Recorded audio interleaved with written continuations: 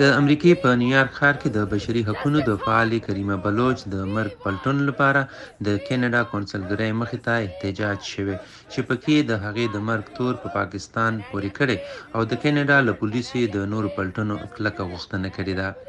د شورو یا چارشنبې په ورځ دغه احتجاج د جلای وطن یا له ملکه بهر ټولنیزو فعالانو له خوا را جوړ شوی و چې په کې د پښتنو تر څنګ بلوچ فعالان، د پښتون ژغورنې غورځنګ د سیاسي ګوندونو غړي او نور یو شمېر کسان موجود وو.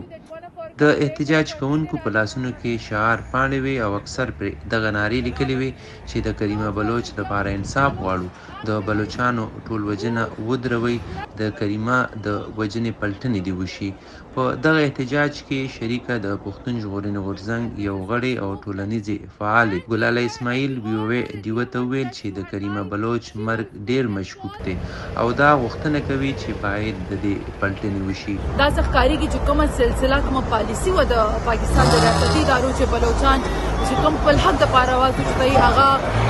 د هغې د وژلو پالیسي دا څه ښکاریږي چې اوس د پاکستان پورې محدوده نه ده دا د پاکستان د بارډر نه بهر پورې روانه مونږ د دې احتجاج مقصد دا نه دی چې مونږ آلریډي یو کنکلوژن ته رسیږو خو زمونږ خیال دا دی چې ځکه چې د هغوی ژوند د خطرې موجودې وي نو ځکه د دې یو ډېر صفا کلیر انویسټیګیشن پکار دی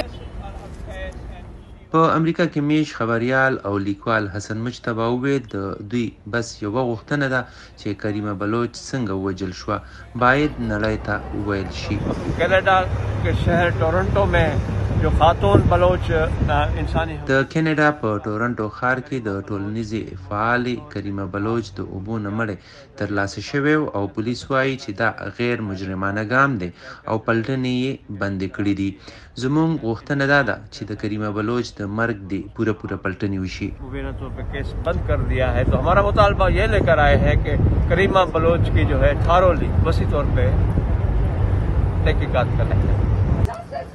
په امریکا کې د پښتون ژغورنې غورځنګ یو غړي اسلم کاکړ وویل چې دوی د کریمه بلوچ د مرګ پلټنې غواړي او هیله ده چې د کینیډا حکومت به ضرور د دوی دا خواست مني. چې موږ د کینیډین ګورنمنټ ته دا ریکوست وکړو چې دوی په دې کم چې مرګ د کریمه بلوچ سوی دی هغه انویسټیګیټ کی ولې د دې مخکې نه د ساجد بلوچ مرګ وشو په سویډن کې چې هغه ورک شو بیا یو هفته بعد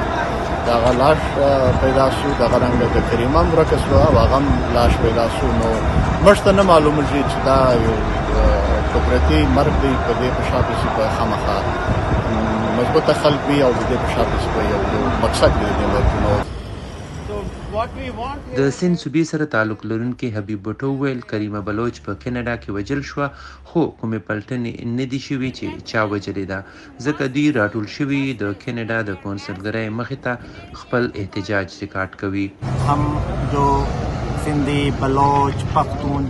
موږ سندي، بلوچان، پښتانه چې څومره هم مظلوم قامونه دي په هغوی کې یوه بې قراري ده چې خپل کورونه او کورنۍ مو پرېښودي دي، هلته مو هم وژني او دلته هم په امن نه یو. تر اوسه د هغه ځای یعنې کینیډې پولیس او انتظامیه قاتلانو ته نه ده رسېدلې، ځکه مونږ لږ مایوسه هم یو ځکه نن مونږ د کینیډا حکومت ته خواست کوو چې زمونږ په وژنه کې څوک هم ککړ دي مونږ په چا تور نه لګوو خو پوره پلټنې دې وشي. یې نهي کهه رهي که یه هې یا وه هې آپ فری فیر انویسټیګیټ کرې. د روان کال په اپریل میاشت کې په سویډن کې په مرموزه توګه د بې درکه شوي بلوڅ خبریال ساجد حسین مړی د هیواد له اپساله ښار سره نږدې د دریاب په غاړه موندل شوی و. په کینیډا کې د پاکستان های کمیشن په دې وروستو کې د کریمه بلوچ په مړینه خواشیني څرګنده کړې وه او د ټورنټو له پولیسو یې د پلټنو غوښتنه کړې. بل اړخ ته د ټورنټو ښار پولیسو په ټولنیزو رسنیو د کریمه بلوچ د مړینې په اړه ویلي، دوی د کریمه بلوچ د مرګ په اړه د ټولنې او میډیا په خبرونو خبر دي او له دې وړاندې دوی پخلی کړی و چې په یوویشتم دسمبر یوه اووه دېرش کلنه زنانه مړه موندل شوې وه. د ټورنټو پولیسو په وینا، دوی کورنۍ هم خبر کړې ده چې د مرګ کوم مجرمانه ګام نه دی، د کوم په اړه چې دوی پلټنې هم پوره کړې دي. بل اړخته د پاکستان چارواکو هم د کینیډا حکومت سره د کریمه بلوچ د مړینې په اړه د پلټنیز رپورټ شریکولو خواست کړی او د بلوچستان د وزیراعلی د اطلاعاتو لپاره سلاکارې بشرارین د نوموړي په مړینه د غم څرګندونه کړې وه او ویلي و چې پاکستاني وګړو ته تحفظ ورکول د کینیډا حکومت ذمه داري وه. فضل الله، وایس اف امریکا ډیوه، نیویارک.